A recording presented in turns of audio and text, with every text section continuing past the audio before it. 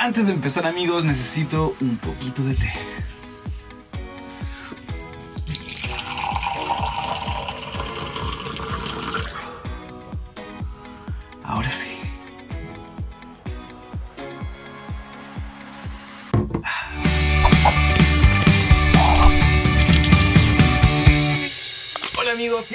A otro video. Hoy sin duda un video muy diferente. Como ya saben, vamos a visitar el cementerio de noche y créanme que estoy muy intrigado. Ya les voy a contar cómo nació esta idea de grabar este video, con quién lo voy a hacer y en serio espero que lo disfruten mucho. Entrando ya amigos un poco más en detalle, hoy mismo fui al cementerio de Talca, tuvimos una reunión con las personas de allá, pedimos un permiso especial para poder grabar de noche. En este cementerio se hacen bastantes tours de noche para darle a conocer a personas de acá la historia que tiene este cementerio. Bueno, en nuestro caso no va a ser un tour abierto, en realidad vamos a ir con dos personas, espero. Una es el guardia del cementerio y otra persona es alguien que trabaja en el cementerio y que sabe mucho, mucho de allá. Entonces, amigos, vamos a conocer historias de allá, historia de gente que hoy en día está descansando en ese lugar. Y por supuesto, también vamos a resolver alguna interrogante como ¿qué tal es el trabajo de esa persona que toda la noche tiene que pasar en el cementerio? Y por supuesto, la pregunta que todos nos hacemos, si es que pasan cosas paranormales en el cementerio de noche. Sin duda va a ser un video que nos va a enseñar mucho, amigos. Estoy muy impaciente por ir, así que vamos.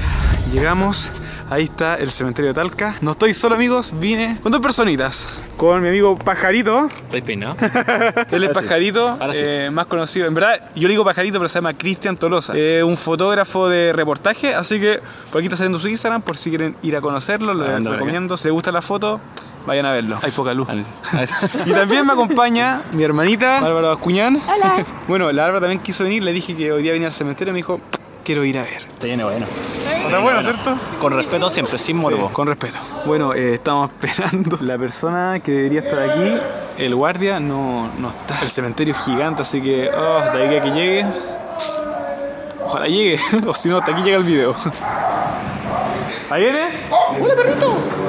Eh, chicos, entramos al cementerio. Primera impresión, yo diría en serio, súper tranquilo. Hasta ahora no tengo miedo.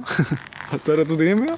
No, no, es que venimos una vez antes y es con respeto. Eso es súper importante, el respeto, chiquillo. Aquí uno tiene que entrar eh, pidiendo permiso a todo, porque este es un lugar de descanso. Si eres creyente, una oración, entras tranquilo, siempre manteniendo el respeto hacia los demás. Piensa que aquí hay familia. Y puede Mm. estar un familiar de cualquier amigo, está aquí, no sé. Exacto, Si viene el morbo, exacto. Incluso mis familiares están aquí también, así que mucho respeto ante todo. Ya estamos con una de las personas que yo le dije que me iba a acompañar hoy. Eres Don Renato. Hola, ¿qué tal? Buenas noches. Bienvenido al tour nocturno de la Ciudad del Silencio. La ciudad del silencio. Bueno, Pajarito aquí está sacando ya sus fotos. Él nos va a hacer un tour guiado privado para nosotros, así que ah, amigos. Él sabe mucho. Bueno, lo que está haciendo Pajarito, amigos, él hace fotoreportaje, así que captura fotos de personas que tengan una historia muy potente y después lo retrata en sus fotos e incluso en revista que está ahora en un proyecto de él. Fíjense lo pro de Don Renato. Tiene micrófono y un parlante escondido en la chaqueta. Y el, y el próximo joven la fue a buscar y ya no estaba la persona. Pero la persona era la misma foto de la persona que estaba sepultada. Compadre, nosotros quedamos así. Ya empezamos con alguna historia para que no entre un poquito de miedo.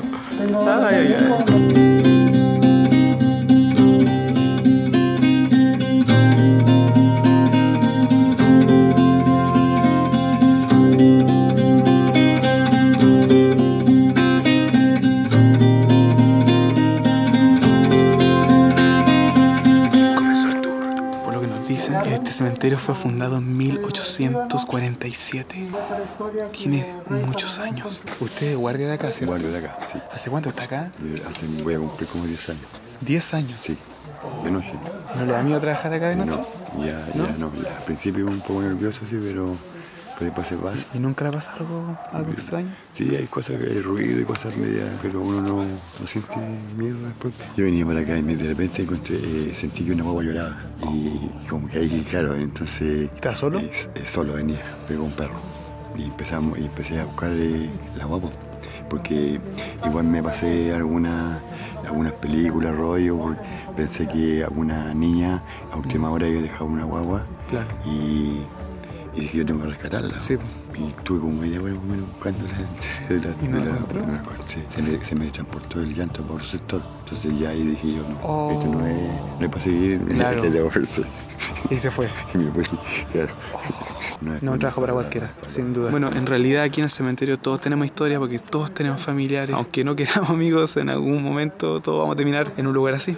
Debo admitir que sí se siente una paz, un silencio, algo muy tranquilo. Pero por otro lado, uno, claro, automáticamente comienza a pasarse rollo, a pensar, a buscar algo, algo paranormal. Pero nos dijeron que no hay que pensar en eso y tratar de concentrarse en la parte histórica. Bueno, aquí les voy a mostrar ahora una niñita de tres años que la- sus padres la embalsamaron. ¿eh? Era hija única y se llamaba Carmencita. Y todos los años la sacaban ellos, la peinaban y la mostraban al público. Y fallecieron este matrimonio y se terminó la historia de esta niñita. Esta es conocida también como la Casa de las Muñecas. La casa de las muñecas. Carmencita, se llamaba también.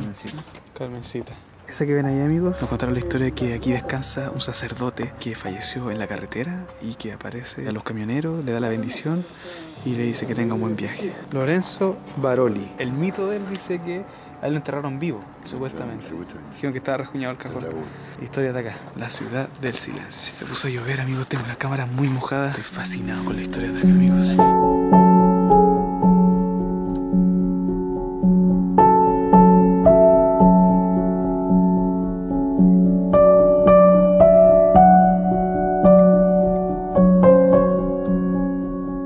Estamos entrando, amigos, hay 263, me dijo, ¿cierto? Personas que batallaron en la guerra del Pacífico. 164. 264. Ahí está, en este lugar. Ahí, en ese lugar. ¿Cómo se llama él? Domingo Urrutia. Él estuvo con Bernardo Higgins. Buena historia, ¿eh? Buena historia. Y cuentan de que este general Urrutia era emparentado con eh, don Bernardo Higgins porque eran parientes por el, el apellido materno, Riquelme. Sí, pues. Entonces acá hay gente que estuvo vinculada con la independencia de Chile. Exacto. Y los tenemos aquí en nuestro cementerio. Buenísimo. eh, Es impresionante saber que acá hubo personas que estuvieron vinculadas con la independencia de Chile. Uno lo ve tan lejano, pero imagínense, está en este mismo cementerio. La lluvia le da, le da un toque más terrorífico esto. De repente se escuchan chiquillos como cositas, pero bueno, debe ser los árboles y también los gatos. Hay muchos gatos acá. ¿Sabes lo que escuché antes que ¿Ah? te dije? ¿Qué cosa? Como... ¿Ah, sí? Sí. Sí, te dije. ¿Estás toda mojada? No, va a estar increíble esa foto. Y aquí hay una parte con una historia que daba a pensar, algo que tiene un contraste muy fuerte. Fusilados en tiempo de paz 257 personas, de los cuales dos de ellos se encuentran acá. Bueno, ahí atrás están hablando acerca de dos personas que fueron enterradas aquí. ¿Por qué les dije que hay un contraste súper fuerte? Porque estas personas cometieron un delito, mataron a alguien e incluso también robaron sus pertenencias después y fueron llevados a la cárcel y posteriormente condenados a fusilamiento. Bueno, y lo fuerte de esto es que después la gente comenzó a pedirle favores aquí a ellos y está lleno de placas por favores concebidos. Entonces el contraste es que pasaron de ser asesinos a ser personas veneradas y entregarles cosas por favor concebido. Murió a los 12 años y quiso donar sus órganos. Y sus padres lo aceptaron. La niñita que está atrás fue una niña que era, era scout. Al fallecer pidió ser donante de órganos. Entonces ella fue la primera donante de órganos de la región. Sin duda algo muy destacable. Y los grupos de scout vienen una vez al año a hacerle homenaje a ella. Esta parte es como más tenebrosa. ¿eh? Aquí.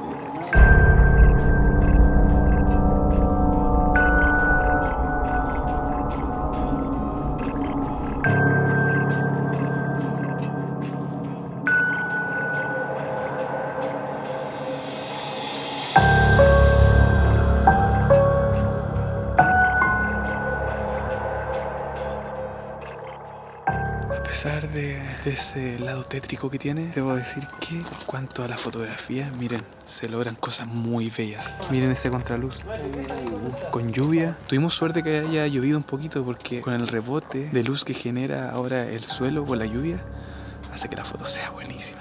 No, aquí Pajarito va a tener unas fotos increíbles. Aquí la Alvarita me está ayudando a sacar cámaras lentas, ¿cierto? Sí. Todas las cámaras lentas que están viendo en este video son gracias a la Barbie. Y aquí tenemos el cementerio de disidentes. O sea, las personas que no son católicas están aquí. Claro, aquí.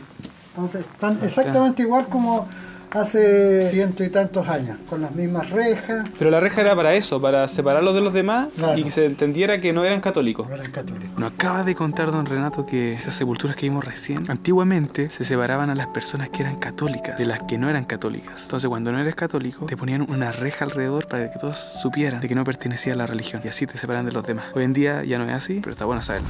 Roberto Martinelli. Fue un gran eh, eh, corredor de autos. Y cuenta la historia de que él está enterrado junto con su auto aquí. Se dan cuenta la tumba es gigante, perfectamente alcanzaría un auto. Pero todavía no se sabe, nunca se ha podido abrir eso. Entonces, ¿por qué si él podía haber estado aquí en este mausoleo donde están los italianos y no acá? Entonces decía porque está justo enterrado con su auto. Aquí estos leones yo siempre jugaba cuando chico. Siempre venía para acá y me subía al leoncito, me acuerdo. Yo creo que los que son de Talca, la mayoría se tuvo que haber subido a esos leones. ¿Te acordáis, Bárbara? Sí, yo siempre jugaba. Siempre. Oh. Uh, uh, uh. Gigante. Oh, ahí sí. Ahí está Enrique Mercadal, Mira, está todo mojadito. Arjona, que hay una... Uh, ahí sonó algo. E- ese fue, ese fue el susto de la noche. Había sonado algo acá atrás. Y era el gato. Ah. Ahí está. Acá, por ejemplo, no hay nadie todavía. No, pues mira para arriba, nada. Y luces afuera. Oh, sí, eso lo quería. Ya vamos, otra foto.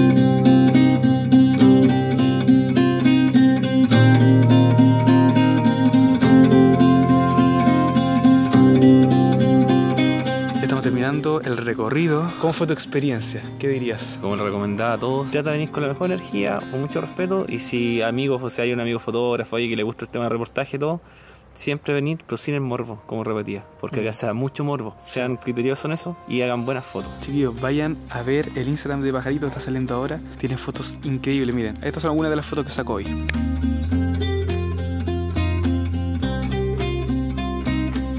Así que ahora simplemente vayan a su Instagram y podrán ver lo demás. Y síganlo y todo, porque es muy bueno. Muy buen fotógrafo y muy buen amigo también. Y la Barbarita, ¿qué, te- qué te pareció? Yo al principio sentía como una sensación extraña. No sé si fue por nerviosismo, Sí. pero sentía como, no sé, el pecho muy apretado. Escuché algunas cosas, pero igual fue linda la experiencia porque pensé que me iba a dar más miedo. Bien, lo superaste. Don Renato, ¿algunas palabras para la gente que lo está mirando? Don Renato. ¿Algunas palabras para la gente que lo está mirando aquí por la cámara? Bueno, un saludo cordial y los invito a visitar eh, la ciudad del silencio. Por si acaso también los que quieren venir al cementerio de noche y hacer un recorrido y aprender un poco más de esto, pueden acercarse acá y preguntar sobre los tours. Así que los invito a que se acerquen chiquillos, aprenden cosas de verdad y una experiencia nueva, totalmente diferente. Con esto ya tacho una cosita que me faltaba por hacer. Realmente tenía las ganas de hacer esto. También algo adicional amigos, eh, me sorprende que acá en el cementerio hay mucho, mucho trabajo. La gente que trabaja aquí limpia el lugar, eh, siempre está cuidando que todo esté perfecto, en perfectas condiciones. Y también se preocupan que la gente que viene sea muy respetuosa en todo sentido. Así que muy buen trabajo. Saco el sombrero por esta gente porque no cualquiera trabaja en un cementerio. Muchas gracias, se pasó un rato. Aprendimos mucho hoy día. Chao, muchas gracias. Y así termina el recorrido en el cementerio, la ciudad del silencio. ¿Ah? Ah, sí. Uno estaba acá afuera y el pajarito estaba viendo si había alguien. Yo, por casualidad, me fui al lado del pajarito. Él, él me tocó un poquito, así y dijo. ¡Ah! que llega de repente, si va. Llegamos. Experiencia. Fue un video distinto, por supuesto que lo fue. Y sin duda va a ser algo que no voy a olvidar jamás. En cuanto al tema de las historias, bueno, hay mucha, mucha historia en el cementerio. Cosas que destacaron mucho es que me decían que en ese lugar estaba el contraste, es que están asesinos y gente inocente enterradas en un mismo lugar. Y claro, si lo pensamos así, hay de todo, amigos. Entonces, por una parte, yo les invito a que no les cierren la puerta al conocimiento que hay en los cementerios. Hay mucha historia que nunca está de más escucharla, y más si viene por los ancianos, amigos. Que sin duda es gente que sabe demasiado. Y en cuanto al tema paranormal, para serle honesto, no sentí en ningún momento algo que me estuviera siguiendo. Fue todo muy tranquilo. Yo creo que fue porque estaba acompañado. Si no estaba acompañado, lo más probable es que hubiese sentido distinto. Oh, me dio calor. Antes de despedir, por supuesto que tengo cinco saludos. El primero para Milleray Celeste, el segundo para Sebastián Contreras, el tercero para Martina Jara, el cuarto para Nicolás Beni y el quinto amigos para Esperanza Lara. En fin amigos, espero que les haya gustado mucho este video. Si es así, por supuesto que pueden darle like, comentar y por supuesto suscribirse. No olviden que subo video todas las semanas, entonces por supuesto que nos vemos muy pronto en otro video. Un abrazo a todos. Chao.